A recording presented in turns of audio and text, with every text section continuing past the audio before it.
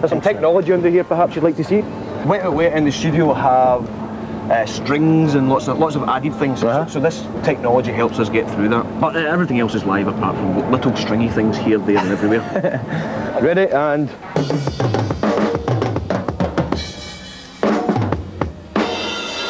Thank you, thank you, thank you, thank you, thank you, thank you, thank you. You're shot. I can't believe I'm doing this. Right, go for it.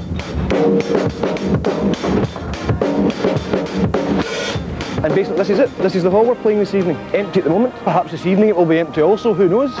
Complete sellout. We saw some fans out the front. We did, that's Yeah. right, yes, yes, yes. Isn't it good to have fans?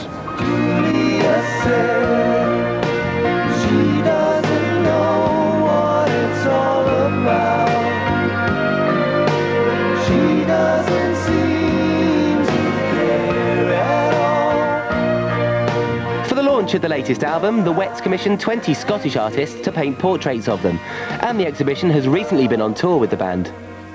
Neil, have you have you got that picture now hanging in your front room? The Uh, portrait. No, actually, I haven't. Uh, I bought it, but um, I suddenly thought after I bought it, I can't really put this uh, painting on my wall because uh, I don't really want to walk into my house when I go home and see a, a double of me, you know. So I'll, I'll probably give it to my mother if she wants it, or else put it in a cupboard somewhere. It's quite hard to go into your home and see a big picture of yourself like, come on in. Oh, this is my house, yes, that's me. The Wets have always been extremely proud to be Tartan.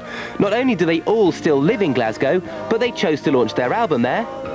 They sponsor their local football team, Clydebank FC, and they're extremely excited at the prospect of Gazza signing for Glasgow Rangers.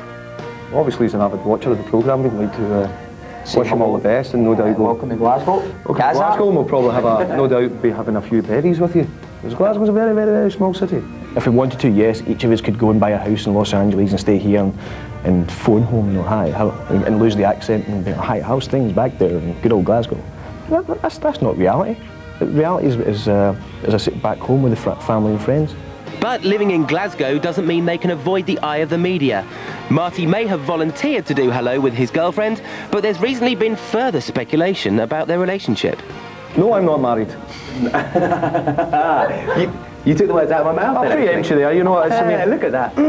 a fan gave me this, You saw the uh, ring. gave me this uh, uh, band of gold. and I'm extremely superstitious. And I'm a great believer that uh, I, I kind of say, well, this is my good luck charm for this Liggery tour, so I kept it. And uh, uh, it's the only finger it fits, believe it or not, is, is the band of gold finger. Uh, and you know, um, before I, I, I put it on, and then before I know it, uh, me and Eileen get married again. I mean, that's six times we get married in the space of a year. It's, you know, And you've not, have you not divorced once, have you? No, and I I haven't even had a, a stag night or, or a present from any of my friends.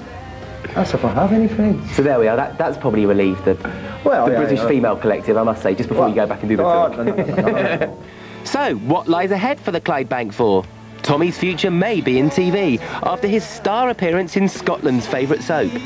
Understanding to make Did you see him in the, his episode of Take the High Road? Oh, indeed I did. Was he good? Because I missed it. Uh, let's just say, yeah, we missed it, and you- we had to watch it about four or five times, frame by frame, you know. And then it's like you just you sort of see this, oh, striking-looking uh, red-haired man kind of coming into frame.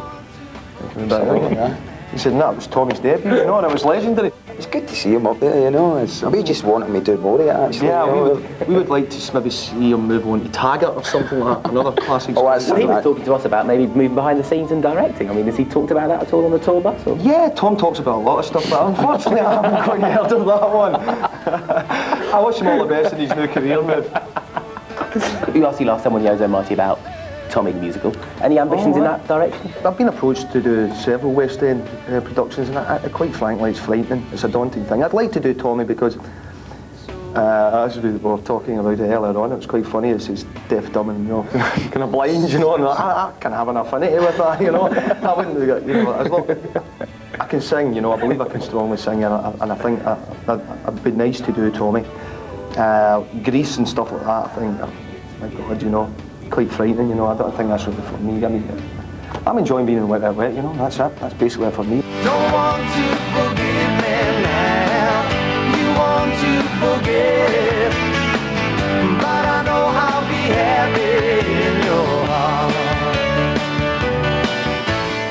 Literally been told there's a matter of seconds now before the band leave their dressing rooms and uh, make their way to the stage. And Marti is in his nicely iron-pressed blue velvet suit. They're all looking tip-top, ready for Copenhagen. And uh, there they are, waiting over there, look.